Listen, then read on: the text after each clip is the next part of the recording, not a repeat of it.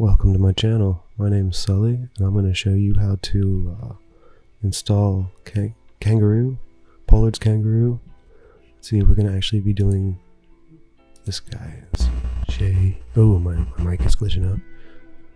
J E A N L U C P O N S. This guy is a wizard, and he made a program to try to brute force against public keys. And here it is. This is GitHub Jean-Luc Pons Kangaroo. We're going to be installing this on a vast.ai instance. It's pretty easy. Takes about 10 minutes. I'll show you how to do it real quick. First thing we're going to need to do is download Putty. You can do that at putty.org. Damn, my mic is sorry. Uh, got so many electronics in here. Got a lot of interference.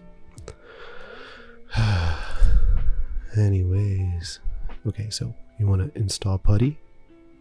Once you do that, it comes with another program called PuttyGen, and uh, we're about to use that. You'll also want to install WinSCP, and uh, I highly recommend Notepad++ if you don't have it, if you're using Windows. Uh, anyway, so first things first, we downloaded Putty. We're going to actually open Putty Gen. Once you do that, you're going to generate a key. You have to move your mouse around a little bit to make some entropy. Obviously, you guys saw all that, but once you do that, you can give it a name. You can name it. Hmm,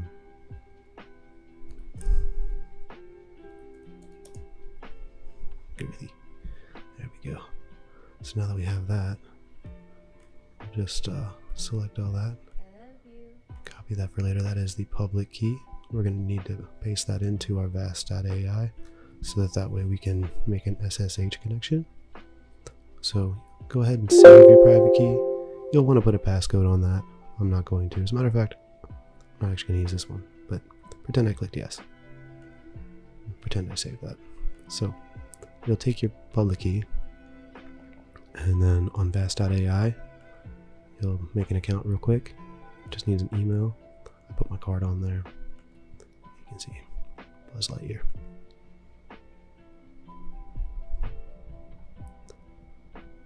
Now uh, now that I'm in here you'll want to go to your account.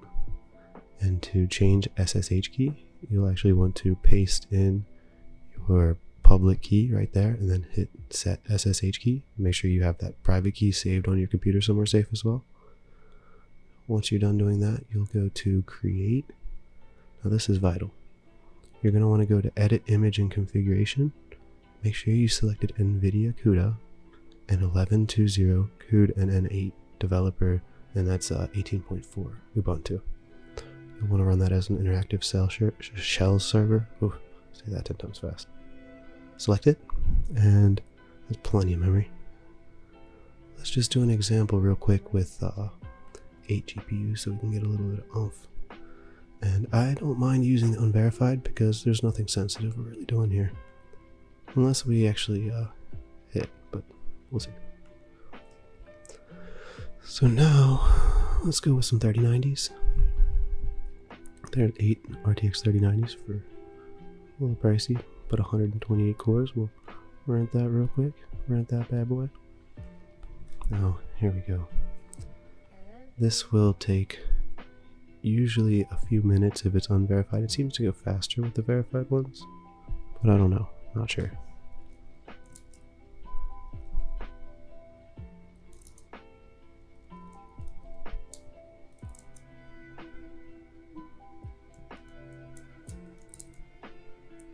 Pull complete. Cool, cool, cool. We're almost done here. I guess while this is uh, pulling, you should make sure to install WinSCP. Make sure you got all that set up. Now we wait.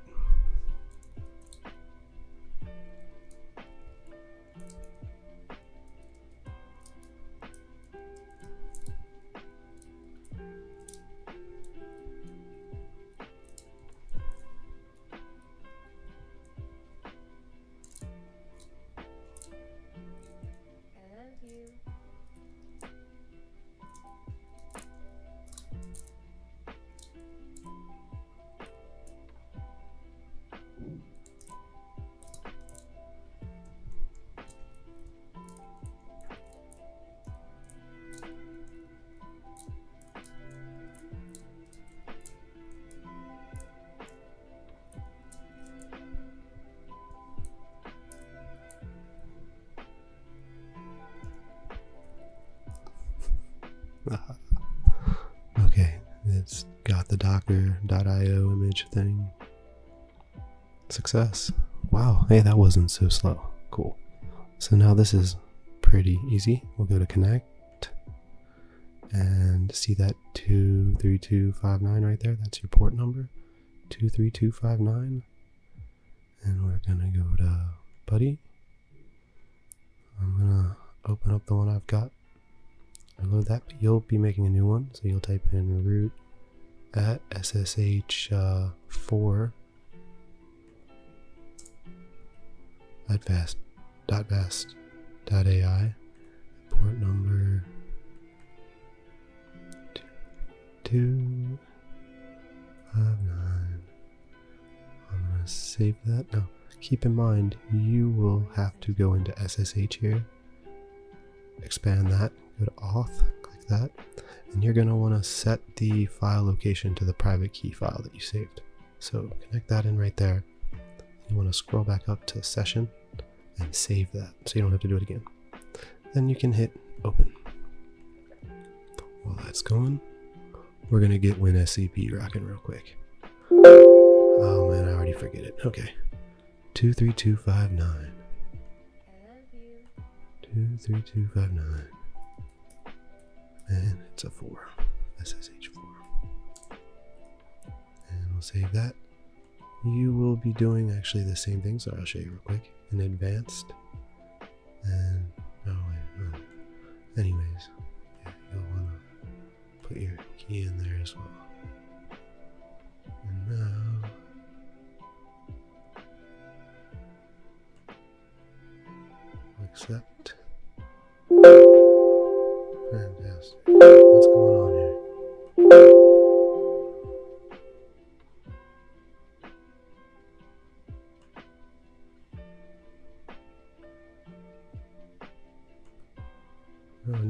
SFTP. What's going on here? Oh, uh, please disregard that for just one second, guys. I don't know what happened there, but two, need to make, make sure it's uh, SHFTP. So 23259. 23259.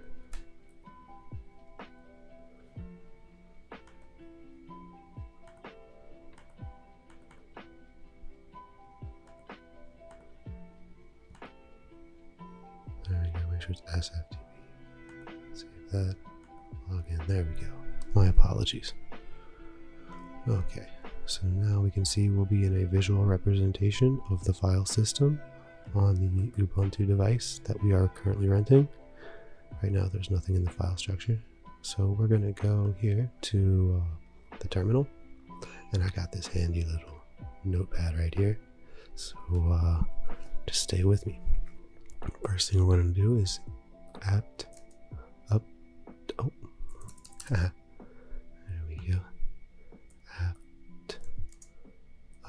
update. You can pretty much do this verbatim, guys. Um, apt upgrade. This takes a little longer.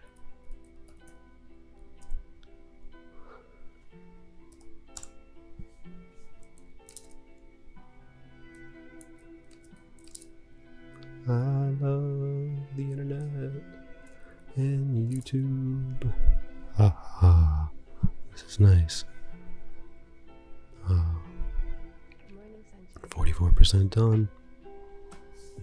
Well on our way. Well on our way. Oh man. Alright. Apt. Install. Want Git. It's a good one. That one helps you get stuff off the internet. I'll show you here in a second. And we're gonna wanna apt install make. That's gonna make the thing that we're gonna wanna use. Oh, it's already got it. Nice. And nano. Uh,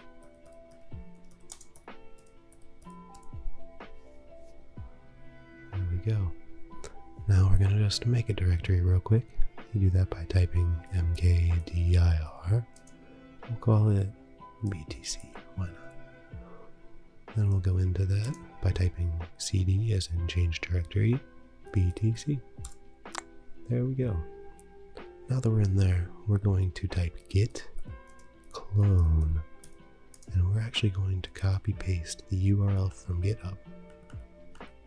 Right. Oh, there we go. Cup. And paste. Now that we have enumerated that, we will type cd capital K A N G A R O O. Now we are in that directory. Now that we are in the directory, we're going to edit the makefile. You do that simply by typing N A N O capital M A K E F I L E enter. Now that we have this opened up, we're going to edit the uh, path for the CUDA and the compiler for the CUDA. We'll do that by removing these last few characters here. And that will make it compatible with our system. Control O and enter and control X. It's been written. Now that we're done with that, we're going to do it, we're going to actually compile it. Now, we want to set the computing capability to 86 for the 3090, but you'll have to check on NVIDIA's website to see the CCAP, CCAP. Oh, one second. There we go. Copy that, and this will compile our program with the GPUs. Let's see how this goes. Shouldn't take too long. Alright, now let's give it a test real quick. You can do that by just simply typing minus L to list the devices. So it's showing that it has 8. Alright, now the uh, file system should be quite different than when we last saw it. So we'll refresh this real quick. Go into the Bitcoin folder that we created and the one we downloaded called Kangaroo. Now, as you can see here, there is an in.txt. It currently has a very small key space with a very easy to solve public key that it's targeting. That'll let us know that everything's working functionally.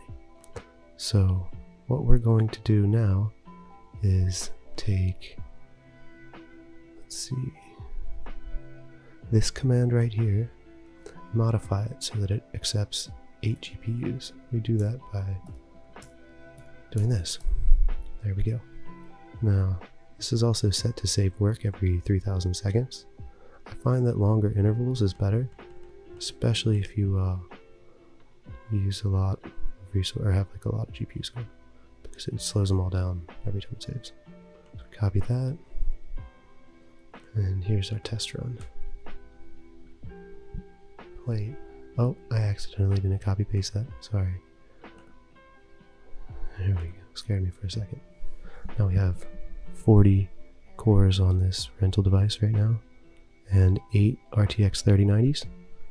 It'll take a little bit. It's actually, uh, it, it determines its own grid size. You can do it manually as well if you like, but uh, I find it does a better job. I've tried playing around and not got as good results. Now, we're throwing a little bit too much into too small of a key space, so we're going to have a lot of uh, lost DP points and stuff, I think, or whatever you call it. Uh,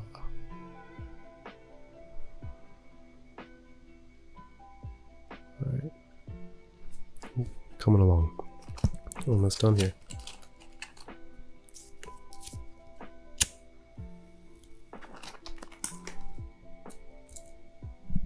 See what. Oh, while this is happening, let's go in real quick and you can see in the files we downloaded, there's a puzzle 32. You can open that. It has uh, some of the unsolved puzzles, such as number 120, which is uh, quite the task, but if you want to try it, you can just simply copy that right there. Open this. And if you have an idea of target key space, like a range, if you're aware of uh, some entropy patterns or something, and you have some public keys, you can input them right here. Let me select all and paste. Perfect. Save that. When you save it, you want to make sure it sends it back over to the other device. So it, there we go, completed. Always make sure it does it. Sometimes it messes up. No, this is this is going slow. I've actually never seen it go so slow. Usually it zips through this test. Let's give it another minute.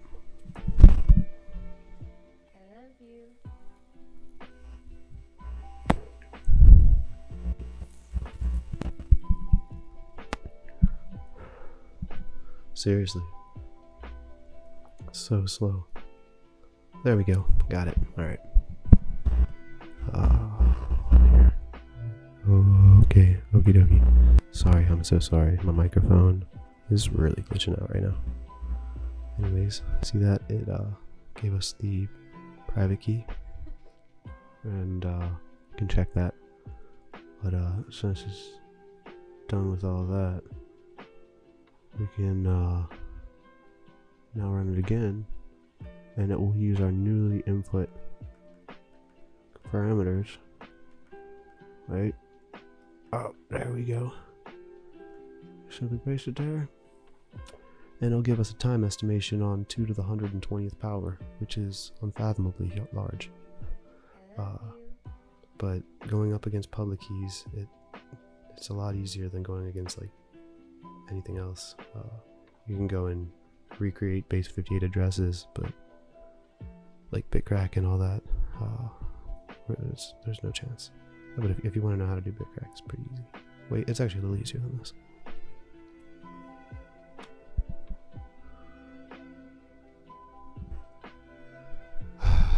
see how this all goes Give us a time estimation.